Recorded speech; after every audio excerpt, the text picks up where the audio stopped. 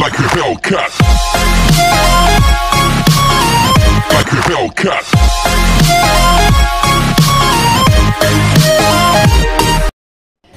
Hello friends एक बार फिर से आप लोगों का स्वागत है मेरे चैनल पर, जिसका नाम है रॉयल आगरा उत्सव और मेरा नाम है उत्सव तो दोस्तों, आज का ये वीडियो है मेरा Yamaha Y Z F R one five, version three के बारे में।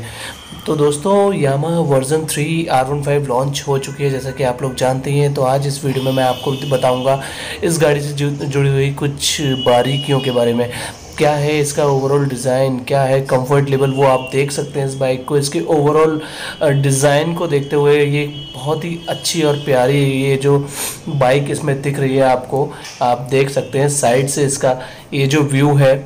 काफ़ी प्यारा है और दोस्तों, ये जो बाइक है, आप लोगों को मैं आप बता देता हूँ, इसकी प्राइस के बारे में, ये डुअल चैनल एबीएस बाइक है और इसकी ऑन रोड प्राइस जो आगरा में है, वो है एक लाख चौंसठ हज़ार एक सौ बयासी रुपये तो दोस्तों, ये आप जैसे कि देख सकते हैं, इसमें एबीएस का दिया हुआ है आगे और पीछे दोनों डुअल चैनल एबीएस के साथ में Yamaha Y Z F R fifteen version three गाड़ी आप लोगों के बिल्कुल सामने है दोस्तों।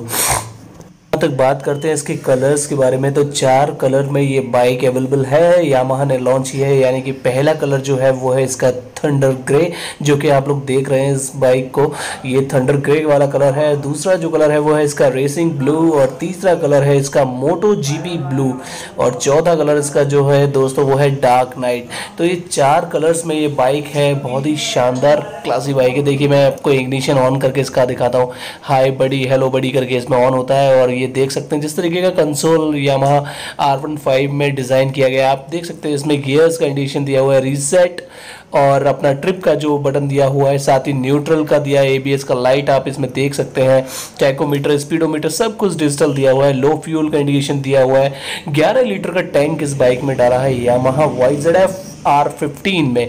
वर्जन थ्री की बात बात कर रहे हैं दोस्तों, बिल्कुल सही सुना आप लोगों ने। और इसी के साथ कुछ बात कर लेते हैं इसके स्पेसिफिकेशंस के बारे में। तो स्पेसिफिकेशंस में जो सबसे पहले आता है इसका इंजन तो दोस्तों इंजन की बात करते हैं तो इंजन का जो डिस्प्लेसमेंट है वो है 155 सीसी यानी कि 155 सीसी का और इसी के साथ सिंगल सिलेंडर यूज़ किया गया है जो कि मैक्सिमम पावर अगर आप बात करते हैं इस गाड़ी की तो आपको 10,000 आरपीएम पे 19 बीएचपी का पावर देता है और अगर टॉक की बात करते हैं तो पिचासी सौ आरपीएम पे आपको 14.7 का मैक्सिमम टॉक आपको मिल जाता है दोस्तों। स्ट्रोक की बात करते हैं तो 59 एमएम का स्ट्रोक है इसमें वॉल पर सिलेंडर इसमें फ्यूल है डिलीवरी फ्यूल सिस्टम की अगर बात करते हैं तो फ्यूल इंजेक्शन का यूज़ किया है। साथ ही साथ इसकी बात कर लेते हैं कूलिंग सिस्टम की तो वो लिक्विड कूल है और नंबर ऑफ़ गियर्स इसमें जो है वो छः हैं। मैंने आपको इससे पहले वाले वीडियो में, जैसा कि आप लोग देखा ही था, आप लोगों ने FZ में फाइव गियर्स और इसमें R one five version three में नंबर ऑफ़ गियर सिक्स हैं दोस्तों। क्लच की अगर बात करते हैं वैट मल्टीपल डिस्क क्लच है इसकी। और अब बात कर लेते हैं इसकी ब्रेक व्हील्स एंड सस्पेंशंस के बारे में दोस्तों। की अगर बात करते हैं दोस्तों फ्रंट ब्रेक टाइप जो है वो है डिस्क और फ्रंट ब्रेक साइज़ जो है वो 282 mm का है। रियर ब्रेक टायर की अगर बात करते हैं टाइप की बात करते हैं तो वो भी डिस्क है। आगे और पीछे दोनों आपको डिस्क मिल जाता है dual channel ABS rear brake size की अगर बात करें तो 220 सौ mm का रियर ब्रेक साइज़ आपको मिल जाता है। और फ्रंट व्हील साइज़ की अगर बात करते हैं तो फ्रंट और रियर व्हील जो है, वो दोनों ही 17 इंच के हैं। और फ्रंट टायर का साइज़ की बात करते हैं तो 100 बाई एट्टी आप लोगों को ट्यूबलेस टायर मिल जाते हैं। रियर टायर साइज़ की अगर बात करते हैं तो 140 फोर्टी बाई सेवेंटी का आपको ट्यूबलेस टायर मिल जाता है। जी हाँ दोस्तों टायर टाइप की अगर बात करें तो दोनों ही आपको ट्यूबलेस टायर मिल रहे हैं यहाँ पर। और व्हील टाइप अगर बात करें तो वो आपको एलॉय व्हील्स मिल जाते हैं। फ्रंट सस्पेंशन आपको इसमें टेलीस्कोपिक फोक मिलता है और साथ ही रियर सस्पेंशन जो है वो स्विंग आर्म लिंक सस्पेंशन आपको मिल जाता है इस बाइक के अंदर दोस्तों।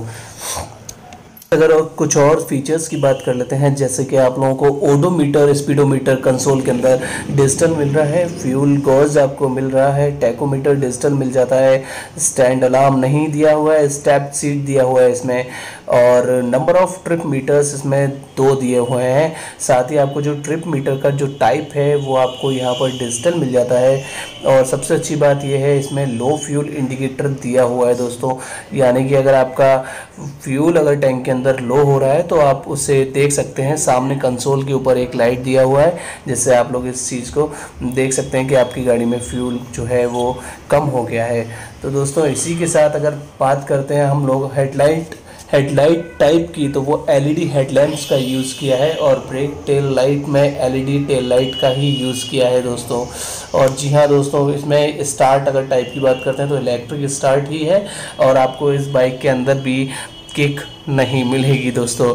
तो ये एक चलन है जो अब ज़्यादातर मैक्सिमम बाइक्स के अंदर किक नहीं आ रहा है। ख़ासतौर से स्पोर्ट्स बाइक के अंदर अगर बात करते हैं तो किक नहीं होता है। इलेक्ट्रिक स्टार्ट सारी बाइक होती हैं और आप देख सकते हैं इस बाइक को। लेकिन मैं इस बाइक को देखने के बाद मैं सिर्फ़ एक चीज़ एक ही चीज़ बोलूँगा, ये बाइक जितना क्लासी देखने में लगती है आप लोगों को दोस्तों, दूर से जितना स्पोर्टी लुक लुक देती है बाइक उतना ही बैठने के बाद बहुत ही शानदार आपके ऊपर जचती जचती है ये बाइक दोस्तों।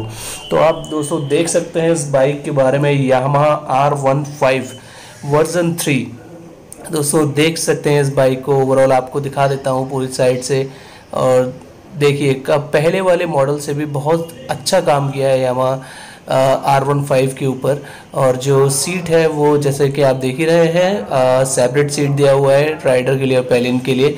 और देखिए टैंक पे किस तरीके का इसमें कलर यूज़ किया गया है, किस तरीके का डिज़ाइन दिया है, काफ़ी अच्छा लग रहा है। कंसोल देखिए आप इसका, कितना प्यारा कंसोल एकदम गेम मोड जैसा कंसोल दिया हुआ है इस गाड़ी के अंदर। तो दोस्तों, ये है Yamaha R one five version three तो दोस्तों, कैसा लगा आप लोगों को ये वीडियो? कमेंट बॉक्स में अपनी राय ज़रूर बता दीजिए और आपको कैसा आप अगला वीडियो मेरा किस टॉपिक पे चाहते हैं, कौन सी बाइक को देखना चाहते हैं, किस बाइक के बारे में आप जानना चाहते हैं, अपनी राय कमेंट बॉक्स में ज़रूर डाल दीजिए। और दोस्तों, वीडियो पसंद आए तो लाइक शेयर और सब्सक्राइब करना बिल्कुल ना भूलें दोस्तों। आज के लिए इस वीडियो में बस इतना ही। अगली बार फिर से एक नई वीडियो के साथ आऊँगा। जय हिंद जय भारत।